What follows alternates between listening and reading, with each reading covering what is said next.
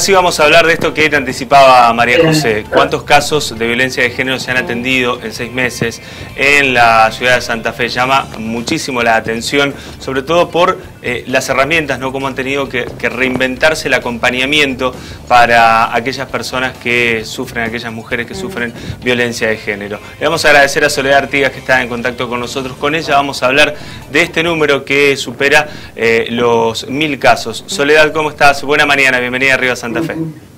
¿Qué tal? Buen día, ¿cómo están? Bien, nosotros queriendo saber, eh, cuando hablamos de asistencia y más de mil casos, ¿de qué tipo de asistencia en particular eh, notaron ustedes en estos seis meses? Sí, en realidad ese número que ustedes manejan, que es 1012 exactamente, son la cantidad de consultas y, y asesoramientos y mujeres. Representa 1012 1012 situaciones de violencia de género de distinto grado que hemos acompañado y recibido acá en la Dirección de Mujeres y Disidencias. Parte de esos son casos graves que entran por la guardia, siempre o, este, en gran medida de noche, o los fines de semana, eh, o los días feriados. Parte es, son personas que vienen al servicio habitual que, que, que brindamos este, en la dirección eh, parte son derivaciones de hospitales públicos, por ende, obviamente esas situaciones son mucho más graves. Los casos graves, Soledad, ¿cuántos fueron? ¿Se pueden cuantificar en estos seis meses?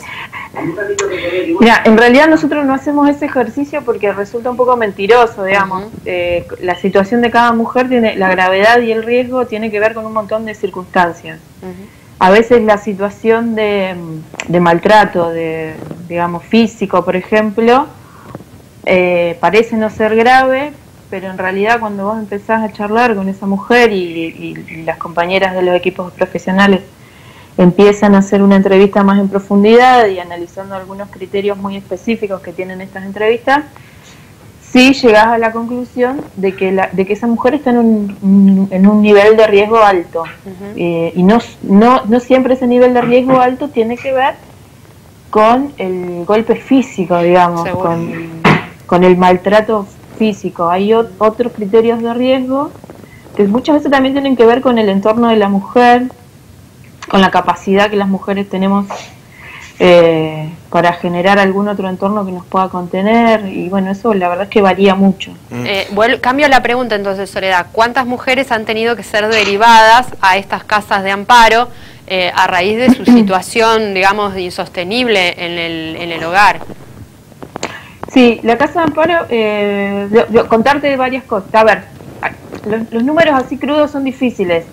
Eh, 1012 es mucho, es, el, es, el, doble de lo que se eh, atendió en todo el 2019. Estamos hablando del doble.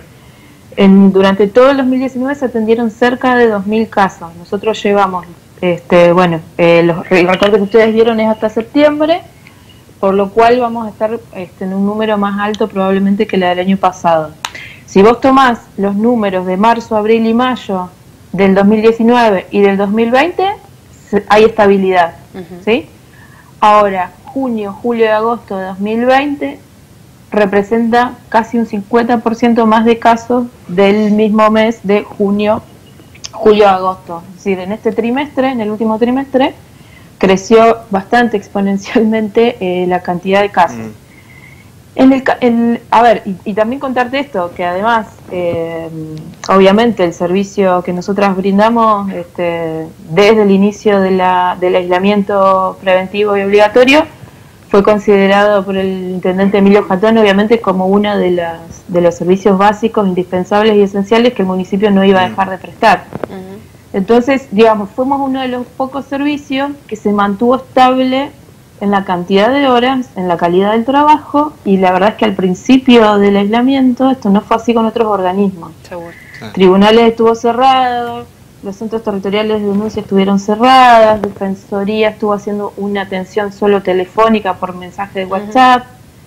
Y bueno, eso también eh, deteriora un poco el servicio eh, que damos en general. El sistema se compone, no solo, nosotros somos el servicio local, somos las primeras que llegamos, o las primeras a las que las mujeres llegan muchas veces, pero después hay todo un sistema muy complejo que tiene que estar funcionando para que esa mujer pueda ser protegida. Eh, Soledad, este, este sistema de, acompañamiento que ha surgido en medio de la pandemia, eh, ¿es eh, el motivo por el cual se han duplicado las consultas, los llamados, o también el factor de pasar más tiempo con ese, esa persona violenta?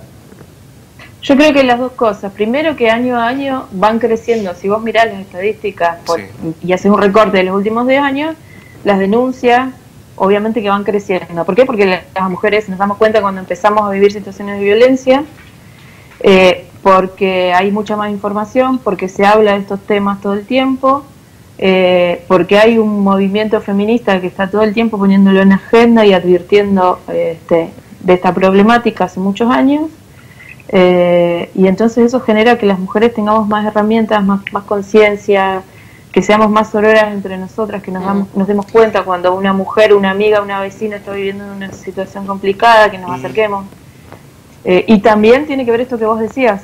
Eh, sin duda, en el primer trimestre la gente se quedó más en sus casas, respetando el, aislamiento que al principio fue muy, restrictivo muy estricto. Evidentemente eso generó situaciones donde mujeres que antes tenían la posibilidad de tener otro tipo, de, salir, salir a trabajar, de salir a tener una vida comunitaria, de compartir tiempo con sus vecinas, con sus amigas, se ve 24 horas del día en la casa, y varones que también, en una situación de estrés, sin trabajo, etcétera, generan violencia contra las mujeres, digamos, es como un poco eso también Causa y consecuencia. Causa y consecuencia en, ambientes violentos.